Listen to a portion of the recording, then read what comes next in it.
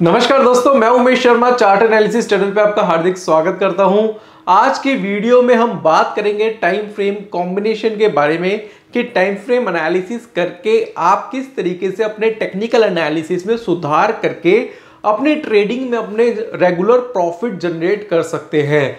Time frame analysis सीखना काफ़ी ज़्यादा ज़रूरी हो जाता है जब हम टेक्निकल एनालिसिस कर रहे होते हैं। और टाइम फ्रेम एनालिसिस क्या होती है, किस तरीके से की जाती है, उसके क्या बेनिफिट्स होते हैं, कैसे हमें ट्रेड बनाना है, वो मैं आज की वीडियो में आपको बताने वाला हूँ। तो वीडियो आज की काफ़ी स्पेशल है, शुरू से लेके आखिर तक ज़रूर देखिएगा। चैनल को सब्सक्राइब नहीं करें तो चैनल को सब्सक्राइब ज़रूर करिएगा। तो अब मैं टाइम फ्रेम एनालिसिस के बारे में बताने से पहले आपको बताना चाहता हूँ टाइम फ्रेम के बारे में कि टाइम फ्रेम होता क्या है टाइम फ्रेम किस तरीके से लिया जाता है चार्ट पे टाइम फ्रेम को किस तरीके से देखा जाता है और इसकी एनालिसिस क्या होती है। तो बारी बारी से एक एक चीज़ें मैं कवर करूँगा तो पहले लेके जाऊँगा मैं चार्ट पे और चार्ट पे ही आपको मैं समझाना चाहूँगा। तो चार्ट पे जाते हैं दोस्तों और चार्ट पे अगर आप देखेंगे तो हम जब भी चार्ट एनालिसिस करते हैं, चार्ट एनालिसिस करने के लिए हमें सबसे पहले क्या देखना होता है? पहले हमें स्टॉक का सिलेक्शन करना होता है और उसके बाद हालाँकि जब हम स्टॉक का चार्ट लगाते हैं या फिर इंडेक्स का चार्ट लगाते हैं तो उसके बाद हमें टाइम फ्रेम देखना पड़ता है कि कौन से कौन से टाइम फ्रेम में किस किस तरीके के पैटर्न्स बन रहे हैं और क्या एनालिसिस हम कर सकते हैं। तो बहुत ही सिंपल तरीका है वो मैं आपको समझाना चाहूँगा। वो कैसे समझना है वो मैं आपको आगे बताता हूँ। जैसे एक एग्ज़ाम्पल के तौर पर हमने क्या करा यहाँ पे निफ्टी का चार्ट देखा। अब मेरे सामने निफ्टी का चार्ट आ चुका है 17,026 के आसपास की क्लोजिंग है। और मैं क्या करता हूँ चार्ट देखने से पहले मैं क्या करूँगा, पहले मैं देखूँगा कि पैटर्न कौन से टाइम फ्रेम पे बन रहा है। पहले हमने स्टॉक या इंडेक्स को सिलेक्ट करा, उसके बाद हम देखते हैं कि टाइम फ्रेम टाइम फ्रेम क्या रख सकते हैं इसमें। अब ज़्यादातर लोग क्या करते हैं, ज़्यादातर कि अगर मैं बात करूँ most of the technical analyst पाँच मिनट का चार्ट देखते हैं। पाँच मिनट का चार्ट कौन देखता है, पहले उसके बारे में बात करता हूँ। पाँच मिनट का चार्ट वो लोग देखते हैं जो जो उनको लगातार ट्रेड बनाने हैं। उनका उन्हें लगता है कि मेरा कोई ना कोई ट्रेड फंसा होना चाहिए। मैं खाली बैठना नहीं चाहिए तो वो क्या करते हैं? वो पाँच मिनट के चार्ट के एनालिसिस करते हैं। अब पाँच मिनट का चार्ट होता क्या है? उसके बारे में मैं आपको थोड़ा सा बताना चाहूँगा, क्योंकि इसके ऊपर काफ़ी सारे कॉल्स क्वेरीज काफ़ी ज़्यादा हमें व्हाट्सएप पे या फिर कॉमेंट बॉक्स में मिलती है। तो मैं आपको बताना चाहूँगा कि पाँच मिनट का चार्ट एनालिसिस यानी कि पाँच मिनट का टाइम फ्रेम क्या होता है, किस तरीके से देखते हैं। देखिए, अगर आप देखेंगे तो फाइव मिनट्स में ये एक दिन की कैंडल्स है। आप देख रहे हैं काउंट कर रहे हैं, ये पूरे एक दिन की कैंडल्स है। अगर आप काउंट करेंगे तो आप देखेंगे कि हर पाँच मिनट में एक नई कैंडल आपको देखने को मिलेगी। हर पाँच मिनट में आपको एक कैंडल देखने को मिलेगी। एग्ज़ाम्पल के तौर पे मार्केट की ओपनिंग टाइम 9:15 है। तो 9:20 पे क्या होगा? एक और कैंडल आपको देखने को मिलेगी। यानी कि 9:15 से 9:20 तक एक कैंडल होगी, फिर 9:20 से 9:25 तक एक कैंडल होगी, फिर 9:25 से 9:30 पे फिर एक कैंडल होगी। यानी कि 15 मिनट के चार्ट, यानी कि 15 मिनट में ही आपको तीन कैंडल्स देखने को मिल जाएगी क्योंकि आप क्या कर रहे हैं? आप पाँच मिनट का चार्ट देख रहे हैं। सिंपल है। और वैसे अगर आप 10 मिनट का चार्ट देखेंगे तो क्या होगा कि हर 10 मिनट में कैंडल बनेगी।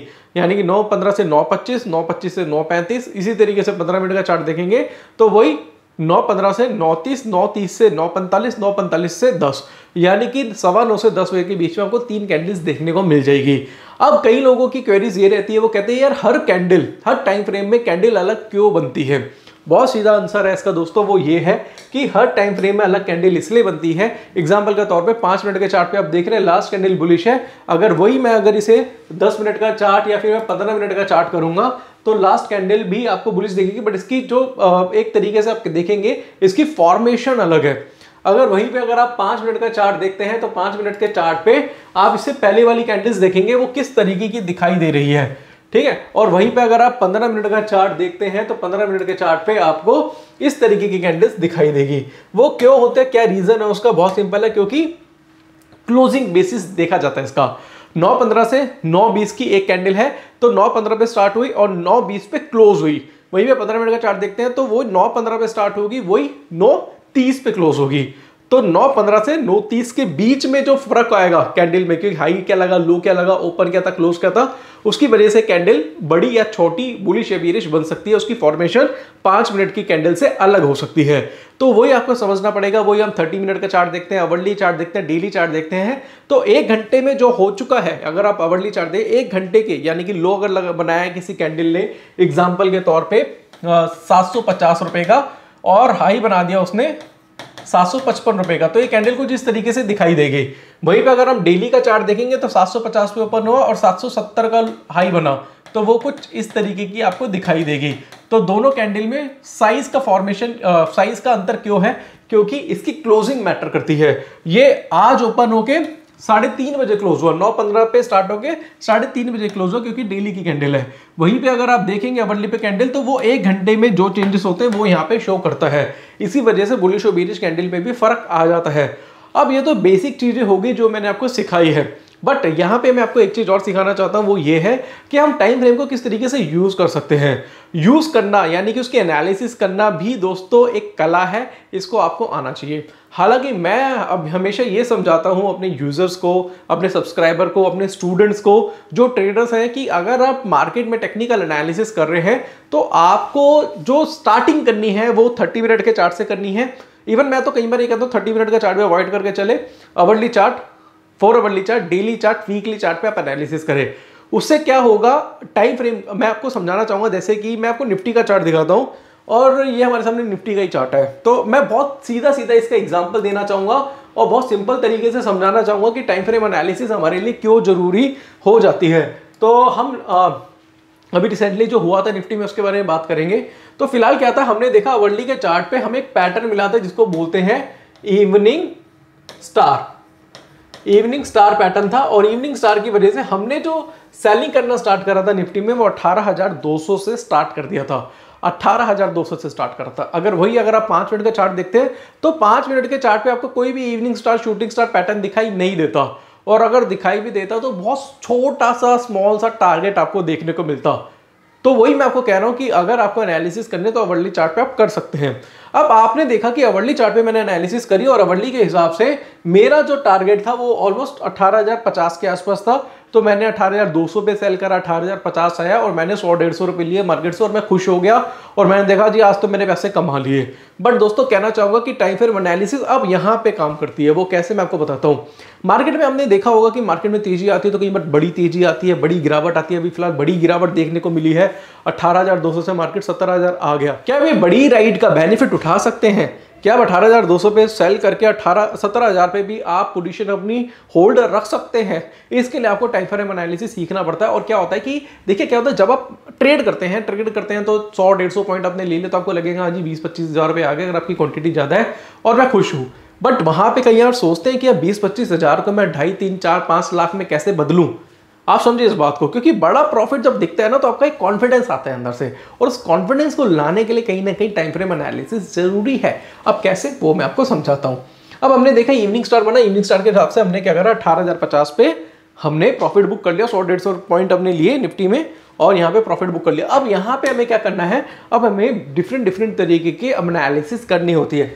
कैसे? अब यहाँ पे हम क्या करेंगे? इसको हम थोड़ा सा मिनिमाइज करेंगे तो हमने दोबारा से जो सेल कराया था, वो इस पॉइंट पे कराया था अठारह हज़ार के नीचे। क्यों? क्योंकि ये डाउन ट्रेंड लाइन के नीचे चल रहा था और हमने यहाँ पे सेल करके भी प्रॉफिट इसमें लिया। बट अब यहाँ पे क्या करना है? अवरली चार्ट ने तो अपना काम कर दिया। अवरली चार्ट के जो तो टारगेट थे, वो आ चुके हैं। अब आगे कैसे एनालिसिस करनी है, उसके लिए फिर हमें टाइम फ्रेम चेंज करना पड़ता है। और टाइम फ्रेम चेंज करने के लिए हमने क्या करा फोर अवरली का चार्ट आपके लिए लगा दिया। अब फोर अवर्ली का चार्ट हमने लगाया तो हमने देखा कि हाँ यार ये तो सही में डाउन ट्रेंड लाइन के नीचे काम करा रहा है और हमें 17,800 के नीचे भी पोजीशन शॉर्ट बनती है। तो हमने क्या करा हमने दोबारा से अपनी पोजीशन शॉर्ट बनाई और different different analysis high open same low open same की स्ट्रेटेजी पे काम करा। फिर हमने क्या करा इस पे डेली का चार्ट लगा दिया। हमने डेली का चार्ट लगाया। डेली में भी कोई पैटर्न नहीं था। फिर हम वीकली चार्ट पे गए। वीकली चार्ट से जब पूछा तो वीकली चार्ट ने बोला अरे भाई सत्रह हज़ार सात सौ प्रॉफिट बुक मत करो। 17,700 तो एक्चुअल में सेलिंग का लेवल है। और यहाँ पे आप बड़ी क्वांटिटी में सेल कर सकते हैं क्योंकि यहाँ से हमारा जो टारगेट बनता है वो बनता है 16,700 तो कहने वाली बात कौन कहेगा आपको? आपको कोई ऑपरेटर तो कॉल नहीं करेगा ना कि ये खरीद लो ये बेच लो ऐसा नहीं होता। आपको क्या करना है वो मैं आपको बताता हूँ। चलो इसके ऊपर एक चीज़ मैं बता देता हूँ।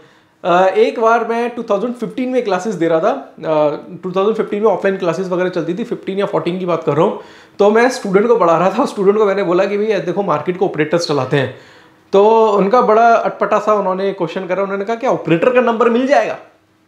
मतलब लोग क्या करते हैं लोग सोचते हैं कि ऑपरेटर मेरे को अपना नंबर दे दो, मैं उसे कॉल करके पूछूँ कि भाई, ये खरीदूं या ये बेचूं। तो कई इस तरीके के क्वेश्चंस आते हैं तो मैं आपको बता रहा था तो मेरे दिमाग में आया। तो मैंने कहा, चलो आपसे डिस्कस कर लेता हूँ। तो ये एक्चुअल में ऐसा होता है। देखो ऑपरेटर आपको कॉल नहीं करता बट ऑपरेटर जब मार्केट में एंट्री करता है तो अपनी निशानियाँ छोड़ जाता है। वो स्मार्ट पीपल होते हैं ना अपनी छाप छोड़ जाते हैं कि वो एंट्री कर रहे हैं, वो कैसे पता चलेगा, वो कैंडलस्टिक से पता चलेगा। अब हमने यहाँ पे क्या करा? वीकली चार्ट देखा किसका? निफ्टी का। अब निफ्टी का वीकली चार्ट देखा और यहाँ पे एक पैटर्न बनाता है जिसको हम बोलते हैं dark cloud cover dark cloud cover candlestick pattern हमें देखने को मिला किसमें? निफ्टी के वीकली चार्ट पे और यहाँ से एक बड़ी गिरावट हमें देखने को मिली। और यहाँ पे सत्तर हज़ार के आसपास मार्केट आ चुका है। सोलह हज़ार सात सौ का टारगेट हमें वीकली चार्ट पे देखने को मिल गया था, वो भी किसमें निफ्टी में। तो फ़िलहाल मैं कहना चाहूँगा दोस्तों कि हमने एनालिसिस कब से करी थी? अवरली चार्ट देख के हमने सेल करना स्टार्ट करा, अठारह पे सत्रह हज़ार सात सौ पे सेल करा, अठारह हज़ार पे भी हमने सेल करा था। इसके बाद हमने सेल करा जो हमारे लेवल बनता था, वो बनता था सत्रह हज़ार सात सौ के नीचे।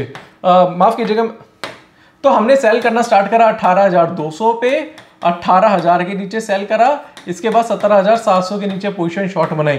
तो यहाँ पे भी हमारा सेल था, यहाँ पे भी हमारा सेल था, यहाँ पे भी हमारी बड़ी सेलिंग थी और टारगेट हमारा सोलह हज़ार सात सौ का है। तो यहाँ पे आप पोजीशन शॉर्ट करते हैं, यहाँ पे पोजीशन शॉर्ट करते हैं, यहाँ पे पोजीशन शॉर्ट करते हैं तो आपकी जो एवरेज होगी वो कहाँ होगी? प्रॉफिट पे एवरेज सुना आपने प्रॉफिट में एवरेज होता है। एक चीज़ आपको बता देता हूँ मार्केट में पैसा वो कमाते हैं जो प्रॉफिट में एवरेज करते हैं। लॉस में एवरेज करने वाला कभी कभी भी प्रॉफिट नहीं कमाता। वही मैं कह रहा हूँ, दोस्तों प्रॉफिट में एवरेज करना भी, दोस्तों टाइम फ्रेम एनालिसिस का ही पार्ट है। तो अवरली से स्टार्ट करा फोर अवरली पे गए डेली पे गए वीकली पे गए तो कंफर्मेशन से कंफर्मेशन आए जा रही थी। तो प्रॉफिट बुक नहीं कर रहे थे। आप क्या कर रहे थे? आप और अपनी क्वांटिटी बढ़ा रहे थे। तो वही चीज़ है, दोस्तों, अब आप अठारह सौ पे सेल करके सत्रह पे प्रॉफिट बुक करोगे और आप देखोगे 1200 पॉइंट उसमें क्वांटिटी भी आपकी ज़्यादा है। तो आप ये मान के चलिए, अगर आपके पास दो, तीन, चार लॉट भी होंगे या एक लॉट भी होगा तो आप कितना पैसा आप मार्केट से बना सकते हैं? और वहीं आपकी क्वांटिटी ज़्यादा है तो आप ज़्यादा पैसा बना सकते हैं। और फिर से कहना चाहूँगा, आप ऑप्शन के ट्रेडर हैं ऑप्शन में आप काम कर रहे हैं। और पुट्टे आपने खरीदी हुई हैं और आपके पास अच्छा खासा पैसा है और क्वांटिटी में आप खरीद रहे हैं तो दोस्तों, फिर से कहना चाहूँगा कि जहाँ आप सोच रहे थे ना चार पाँच हज़ार रुपए लेके मार्केट से निकलूँगा, हो सकता है आप ढाई तीन लाख रुपए लेके मार्केट से निकले। और ढाई तीन लाख रुपए ना, आपका मोटिवेशन इतना बढ़ा देगा और मैं कहना चाहूँगा कि वो ढाई तीन लाख रुपए आपकी बीस लाख, पच्चीस लाख में भी कन्वर्ट हो सकते हैं। ट्रेडर ऐसे ही बनता है। ऐसा नहीं कि अकाउंट में एक करोड़ रुपए हैं और ट्रेड करके मैं बड़े बड़े स्क्रीनशॉट दिखा रहा हूँ। ऐसा नहीं होता। जो छोटे पैसे से बड़ा बनता है ना, वो हमेशा आगे जाता है। और इसलिए मैं कहता हूँ, छोटे पैसे को बड़ा बना सकते हैं जब आप टाइम फ्रेम एनालिसिस को सीखेंगे। बट फिर से कहना चाहूँगा दोस्तों इसको सीखने के लिए आपको बेसिक टेक्निकल एनालिसिस आना चाहिए। टेक्निकल एनालिसिस क्या होता है, उसके बारे में चर्चा करना चाहूँगा। टेक्निकल एनालिसिस सीखने के लिए आप जा सकते हैं हमारी वेबसाइट पे। वेबसाइट है W W W dot chart analysis dot C dot in वहाँ पर जाइए यूज़र आईडी क्रिएट करिए। ओटीपी पासवर्ड आएगा, वहाँ से आप टेक्निकल एनालिसिस सीख सकते हैं बेसिक टू एडवांस जिसमें कैंडलस्टिक क्या होता है चार्ट पैटर्न क्या होता है टाइम फ्रेम एनालिसिस क्या होती है इसके साथ साथ psychology demand supply price action ये सारी चीज़ें सिखाई गई हैं। सिर्फ़ कहना चाहूँगा, आठ हज़ार नौ सौ निन्यानवे का कोर्स है, क्योंकि अब देखिए, पहले जो कोर्स था वो आठ हज़ार का था। अब ये बढ़ के अभी फ़िलहाल सात हज़ार नौ सौ निन्यानवे का ही है बट ये जल्दी दोस्तों एक हज़ार में इसमें बढ़ने वाले हैं। कल या परसों से मैं रेट इसमें बढ़ा दूँगा।